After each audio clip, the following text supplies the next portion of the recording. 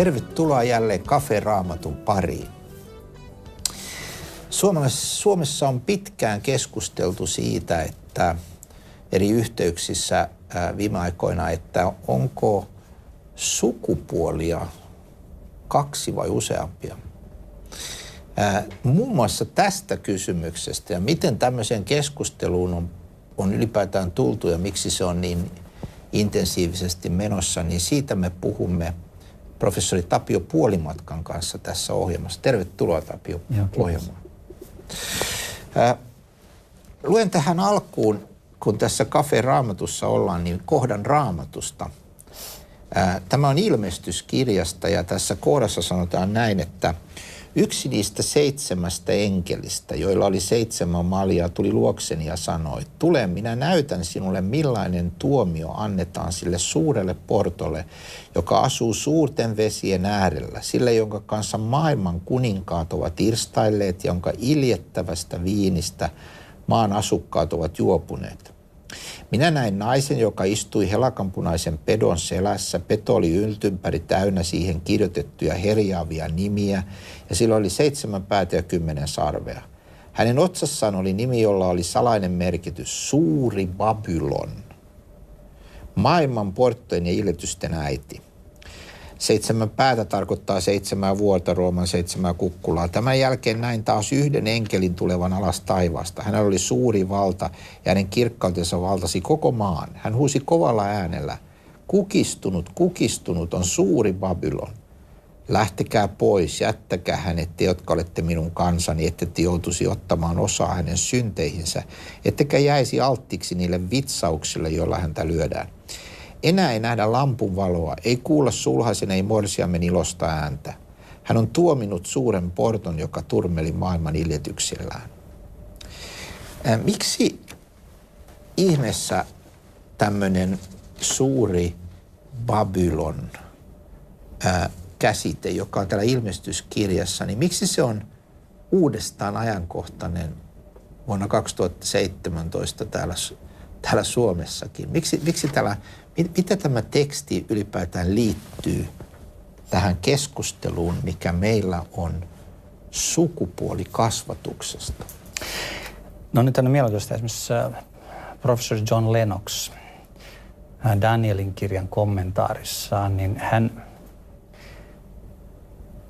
toteaa, että itse asiassa se Babylonin uskonto tulee hyvin lähelle sitä maailmankasvamusta, joka tällä hetkellä vallitsee meidän aikana. Ja yksi ulottuvuus siitä Babylonin uskonnosta oli tämmöinen Istarin, Istarin jumalattaren palvontakultti. Ja Istar jumalatar oli androgyyni. Hän oli sekä niin kuin nais- että miespuolinen. Ja hänen pappinsa oli myös androgyynejä, jotka saattoi ekstaasissa jotenkin kertomusta mukaan esimerkiksi kastroida itsensä. Mm. E, ja, ja nyt heillä näillä ikään kuin naismiehillä, jotka palvoi Istaria, niin niillä oli myytin mukaan siis sellainen merkitys, että kun Istarkin laskeutui maanalaan, niin nämä naismiehet vapautti Istarin maanalasta. Eli ei saatella nyt, että samalta, kun meillähän kristiuskossa Kristus meni tuonelaan ja mm. nousi mm. kuolleesta. Mm. Eli siis hän, se vapauttaja on Kristuksen veri. Niin. Mutta tässä nyt se vapauttaja onkin tällainen androgyynisyys. Se, että siis ihminen henkistyy niin paljon, että sukupuoliero katoaa. Mm. Tai tässä tapauksessa niin kuin revitään. Mm. Että jos sä oot vaikka syntynyt mieheksi, niin sun äh, sukupuolielämässä revitään ja, ja sä käyttäytyt niin kuin nainen. Mm. Niin se ikään kuin vapauttaa sitten sen istarin voiman. Mm. No nyt sitten samalla tavalla tämmöinen niin kulttinen merkitys. Jos Mac, Hugh joka on ollut siis tämän Johns Hopkins yliopiston johtava psykiatri, niin hän, hän sanoi, että meidän ajassa on syntynyt tämmöisen transihmisen ympärille kultti. Mm. Siis ikään kuin us, melkein uskonnollinen palvontamuoto, jonka, ja tämän kultin vaikutuksesta itse asiassa tämmöiselle pienelle pojalle ja tytölle tehdään henkistä väkivaltaa, koska hänen se sukupuoli-identiteettiä kyseenalaistetaan yhä enemmän esimerkiksi jopa koulussa. Ja jopa opetushallitus kehottaa niin tekemään. Siis nyt tulee hyvin paljon sitä palautetta, että lapsilta eh, kysytään eri puolilla maailmaa koulussa, tietenkin muuallakin, että, että, että oletko sinä tyttö, poika vai jokin muu. Niin tämä on nyt osa, tämä on nyt osa tätä vallankumousta tässä sukupuolikasvatuksen kohdalla, että, että on, on se ajatus, että enää ei jakauduta kahteen sukupuoleen, vaan on useampia. Sä kirjoitat tässä kirjassa, jos ajatellaan tätä, palataan tuohon gnostilaisuuteen, mutta jos ajatellaan ihan tätä ydinkysymystä tässä. Sä kirjoitat täällä tällä tavalla, että sukupuolen voi todeta objektiivisesti karyotyypistä, eli sukupuolelle tyypillisestä kromosoomien lukumäärästä ja rakenteesta. Miehen karyotyyppi on 46,XY ja naisen 46,XX. Sukupuoli on siis kirjoitettu ihmisen jokaiseen soluun. Ja vielä kirjoitat, että ei ole mitään älyllisesti kelvollista perustetta puhua muusta kuin kahdesta sukupuolesta. Se, että sukupuoli-identiteetti voisi jossain tapauksessa vaihdella, ei anna perustetta pitää eikä epävakaata ja horjuvaa sukupuoli-identiteettiä toivottavana ja pyrkiä herättämään kehitysvaiheessa olevissa nuorissa kysymyksiä omasta sukupuoli-identiteetistään ja siten häiritsemään heidän sukupuolista kehitystään. Miten, miten on, miten on niin mahdollista, että asia, joka joka voidaan ihan objektiivisesti todeta. Ja josta niin kuin, niin kuin sanot tässä, niin sukupuoli on kirjoitettu jokaisen, ihmisen jokaiseen soluun. Miten on mahdollista, että, että ihan systemaattisesti kuitenkin kehotetaan luopumaan tästä kahden sukupuolen ajattelusta ja laajentamaan sitä niin, että olisi useita sukupuolia, vaikka ei ole mitään älyllistä perustetta tällä. Niin tosiaan, että esimerkiksi tässä opetushallituksen oppaassa, että tasa-arvo on taitolaji, niin siinä nimenomaan sanotaan, että tämä sukupuolitietoinen hmm. opetus, jota ne suosii, niin se, se ei sosiaalista lasta tai nuorta hänen biologiseen sukupuoleensa. Siis että pidetään vääränä sitä, että mä rohkaisen tyttö olemaan tyttö ja poika olemaan poika. Vaan tämä nousee sellaisesta – niin kuin aina, otetaan joku hyvä asia ja vääristetään se. Joku hyvä moraalinen periaate, mm. siis tasa-arvon periaate. Mm. Ja, ja nyt tässä tapauksessa ikään kuin naisen ja miehen välisen tasa-arvon periaate on, on lähtökohtana. Ja nyt sitten, miten se naisen ja miehen tasa-arvo toteutuu täydellisimmin? Siten, että se naisen ja miehen välinen ero katoaa. Siis tulee nyt tällainen hyppy yhtäkkiä. Mm. Et se, et se tasa-arvo, eli ikään kuin, että erilaisuus, puhutaan niin kuin moninaisuuden hyväksymisestä, mm. mutta halutaankin poistaa se moninaisuus. Mm. Eli poistaa se naisen ja miehen välinen luontainen erilaisuus. Ja ei huomata, että samalla kun nyt tällä tavalla tämmöisen abstraktin periaatteen pohjalta ikään kuin, tätä kutsutaan siis sukupuoliseksi valtavirtaistumiseksi, on yksi osa sitä, niin tämmöisen abstraktin periaatteen pohjalta ikään kuin tavoitellaan jotain tällä tavalla vääristeltyä normia, niin tehdään väkivaltaa tavalliselle tytölle ja pojalle, koska herätetään hänessä näitä epäilyksiä, kysymyksiä, jotka lapsella on luonnostaan, niin herätetään ja vahvistetaan niitä epäilyksiä. Ja mahdollisesti jopa sitten viedään lasta siihen, että jossakin tapauksissa jo esimurrosikäisille lapsille aletaan antaa sellaista lääkehoitoa, joka estää murrosien tulon, tekee lapsesta hedelmättömän ja joka sitten vaatii, että hän loppuelämänsä saa jotain hormonihoitoa ja ehkä sitten menee sukupuolikorjausleikkauksiin. Tätä kaikkea perustellaan sillä, että joillakin lapsilla on näitä tämmöisiä ikään kuin kokemuksia siitä, että ne ei koe sopivansa omaan biologiseen sukupuolensa. Mutta se, mitä tässä unohdetaan, että kun aletaan nämä hoidot vaikka 11-vuotiaalla tytöllä tai pojalla, niin unohdetaan se, että jos me annettaisiin normaalin murrosian kehittyä – niin ne murrosien hormonit saa aikaan sen, että neljä viidestä näistä lapsista, joilla oli jotain ongelmia, niin ne luonnostaan samastuu oman biologisen sukupuolensa. Mutta jos me estetään se murrosian tulo, niin sataprosenttisesti näin lääkkeellä, niin sataprosenttisesti näistä ihmistä tulee transihmisiä joidenkin tutkimusten mukaan. Me emme puhu ihan pienestä asiassa tästä, koska toteat tuolla, että esimerkiksi Englannissa on tuhat prosenttinen lisääntyminen ää, tämmöisissä hoidoissa. Diagnosoiduissa tämmöisissä sukupuolihäiriöissä niin. viiden vuoden aikana. Niin. Joo. Eli, eli tämä on todella niin kuin, niin kuin raju kehitys. Ää... Ja, ja siinä on se ulottuvuus myöskin, että, että se vie niin paljon rahaa, mm. että se vie niin kuin todelliselta terveydenhoidolta rahaa. Mm. Nyt, nyt palataan tähän, tähän gnostilaisuuteen, joka oli siis alkukirkon aikana, ensimmäisten kristittyjen aikana. Se, kun kristinusko syntyi, niin se oli yksi näitä suurimpia haastajia, yksi suurimpia harhaoppia, hyvin monimuotoinen liike, joka haasto, haasto ää, kristinuskoa. Me näemme jo Uudessa testamentissa, kuinka Johannes ja muut taistelee tätä vastaan, tätä gnostilaisuutta. Niin, mit, mit, niin nyt, nyt se liittyy tähän hyvin konkreettisesti sitä kautta, että gnostilaisuudessa ajateltiin, että ihmisen puhdas henki, joka hänellä on, on jotenkin vankina väärässä ja, ja, ja, ja niin kuin, niin kuin, niin kuin ruumiissa. Ja sen pitää vapautua siitä. Niin mikä linkki tässä on tähän päivään ja tähän sukupuolikeskusteluun? Joo, ja ensinnäkin mä nyt valotaisin sitä linkkiä, mikä on Babylonian ja gnostilaisuuden välillä. Mm. Babylonia uskonnon, koska nythän Aleksanteri Suurihan 300-luvulla loi yhteyden Babylonian kulttuuri ja helleenisen kulttuurin välillä. Ja sitten siihen mennessä, kun siis ajanlaskun alkuun mennessä, niin se Babylonian uskonto sitten toisaalta oli onnistunut ää, omaksunut hellenistisesta kulttuurista sen kyvyn ilmaista ajatuksensa vähän niin kuin filosofisemmin. Ja, ja, se, ja se oli, siitä syntyi tämä gnostilaisuus. Mm.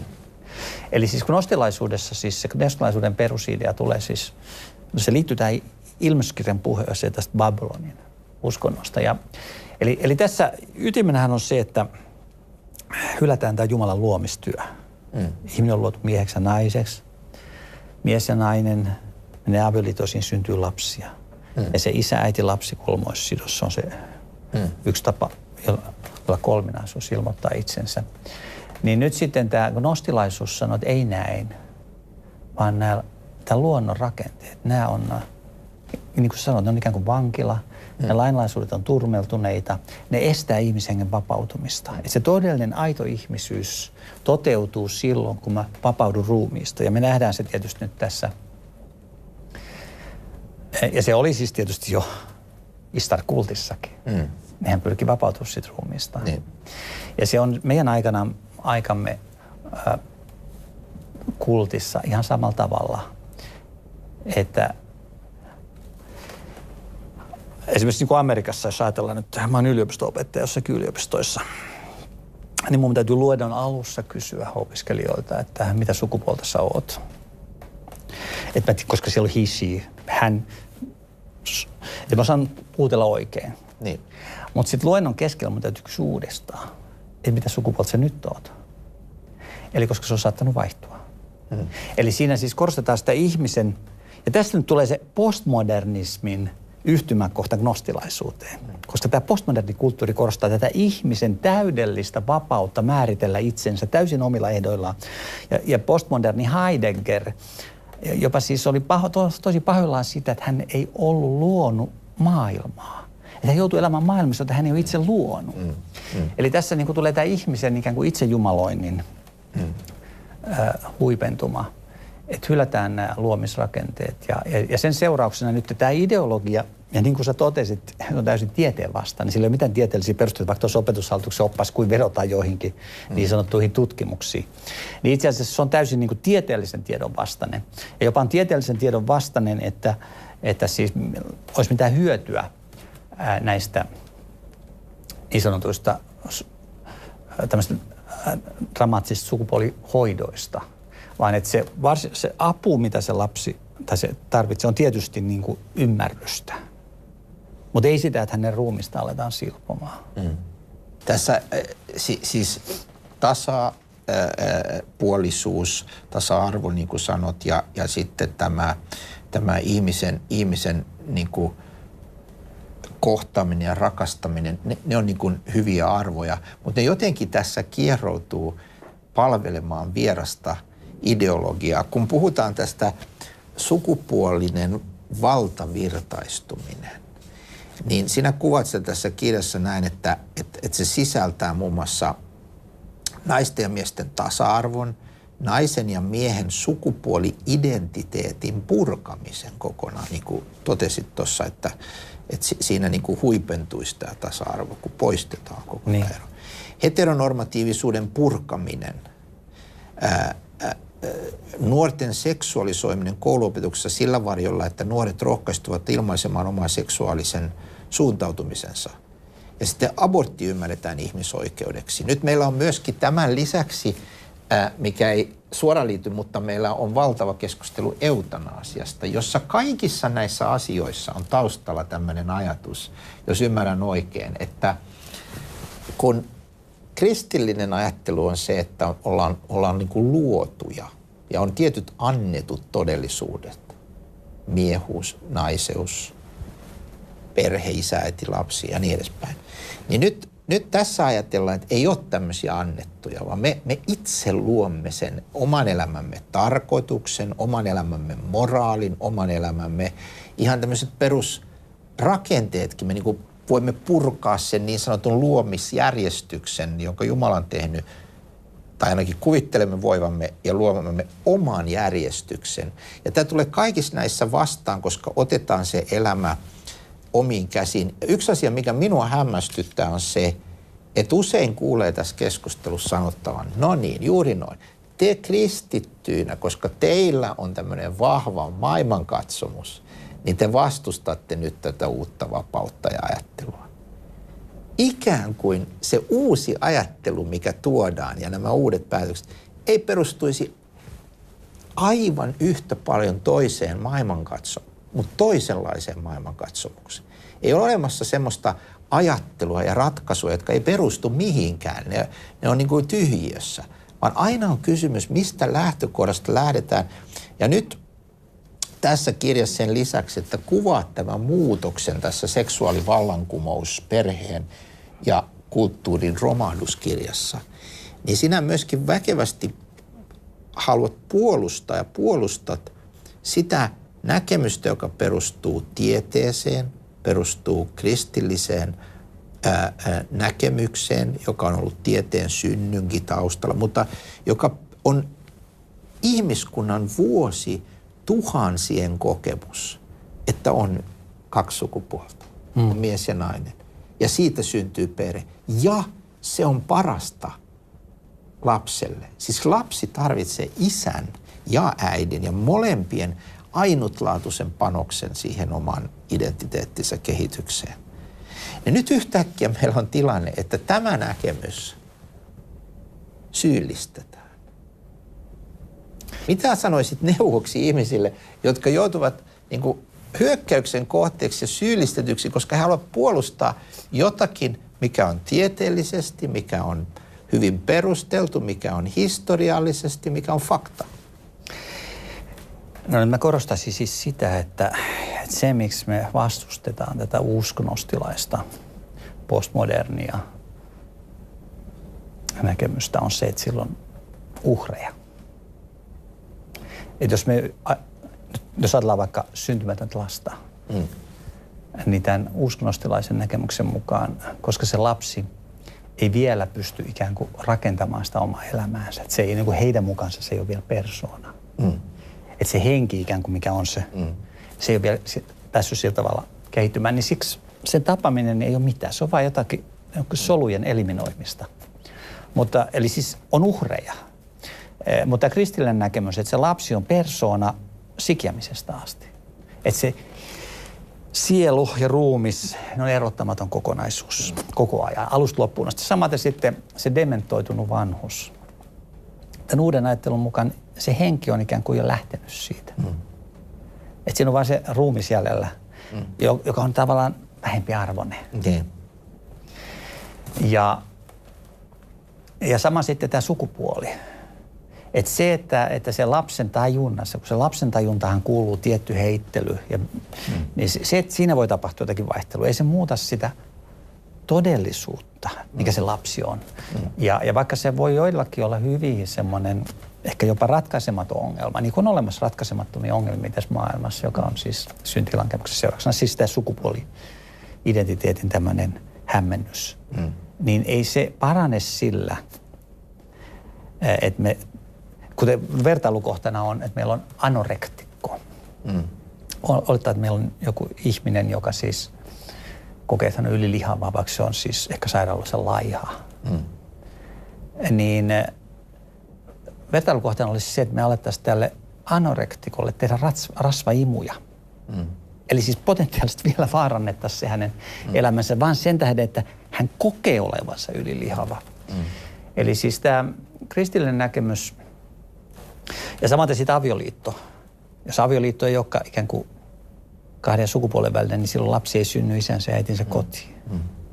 Eli tämä ruumiin, jos ruumiille ei anta oikeaa paikkaa, niin ihmiset kärsii. Ja me voidaan, ja eliitti voi paeta sitä kärsimystä, mutta köyhät, vähävaraiset kohtaa sen kärsimyksen niin kuin vahvemmin. Eli sen tähden niin kuin me kristiusko on historiassa, kun se on pitänyt kiinni tästä ihmisen ruumiillisuudesta, siitä, että ihminen on persona sikiämisestä kuolemaan asti, senkin jälkeen tietysti vielä, niin, niin se on luonut hyvinvoiva yhteiskunnan, jossa jokaisella on turvattu ehdoton mm. ihmisarvo. Nythän se tässä katoaa. Mm. Kun, äh, jos sä luot tämmöisen vaikka nyt eutanasiakulttuurin, niin silloinhan ikään kuin vanhukselle tulee se tunne, että onko mun vähän niin kuin velvollisuus antaa tappaa itteeni, että mä oon taakkana muille. Äh, kun ajatellaan, ajatellaan, että on tämmöisiä ihan kirjaimellisia uhreja tästä, niin kuin abortoidut lapset ja sitten, sitten äh, eutanasiassa kuolleet vanhukset, niin tota, sitten on myös henkisesti uhreja, esimerkiksi lapsi. Olet puhunut tässä kirjassa geneettisistä orvoista. Eli lapsi, lapselta riistetään mahdollisuus oman biologisen, kasvaa ja oppia tuntemaan ja kasvaa oman biologisen isän ja äidin kanssa. Se riistetään esimerkiksi nyt t- tällä uudella avioliittolailla ihan virallisesti. Niin siis se tavallaan se avioliittolaki ei enää opeta sitä, että lapsi tarvitsee isää ja äitiä. Mm. Ja kun se viesti ikään kuin poistuu yhteiskunnasta, niin se rohkaisee ihmisiä sitten mm. siihen kuvitelmaan, että lapsi ei kärsi siitä isättömyydestä ja äidittömyydestä. Mm. Ja, ja, ja se on kuitenkin, näin, nämä geneettiset orvot itse aikuistuttuaan kertoo, että heille se kaipuu joka päiväne, monille heistä. Mm.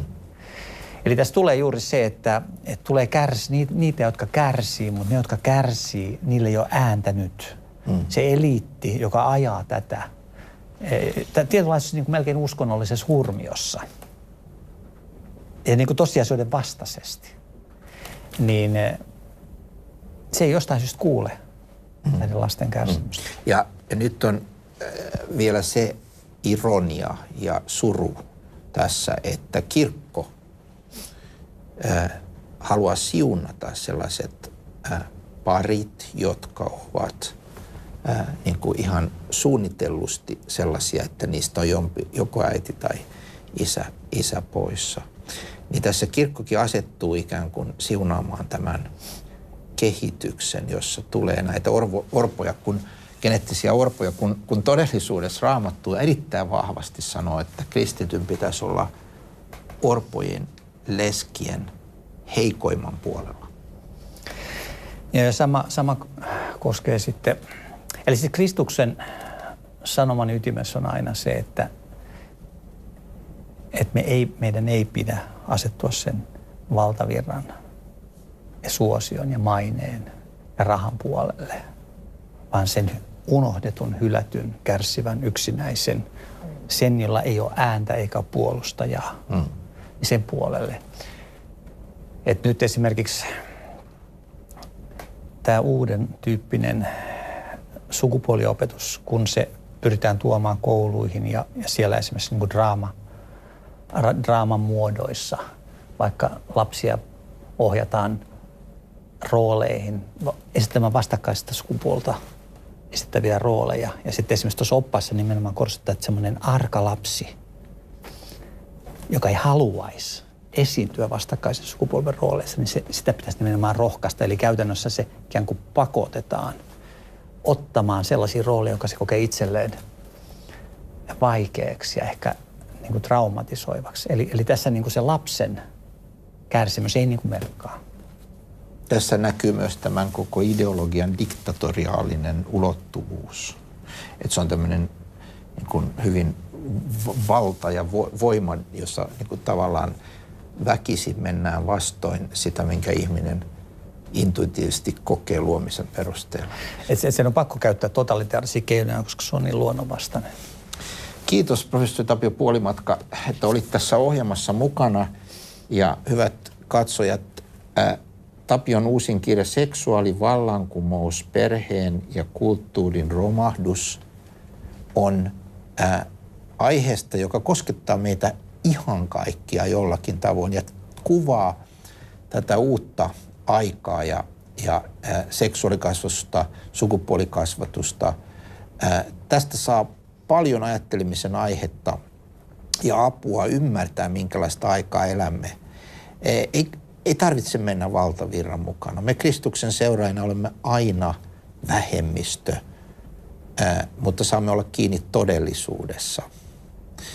Siunattua viikkoa sinulle nähdään taas viikon päästä kaferaamatussa. Minun nimeni on Leif Nummela ja teen – Cafe Raamattu-ohjelmaa. Jos haluat tukea tätä ohjelmaa ja kristillistä TV-työtä, voit antaa tukesi soittamalla ruudussa näkyvään numeroon 0600 10077. Puhelun hinta on 10 euroa. Tai voit antaa tukesi ruudussa näkyvään tilinumeroon ja viitteeseen. Kiitos, että olet mukana tekemässä mahdolliseksi näitä ohjelmia.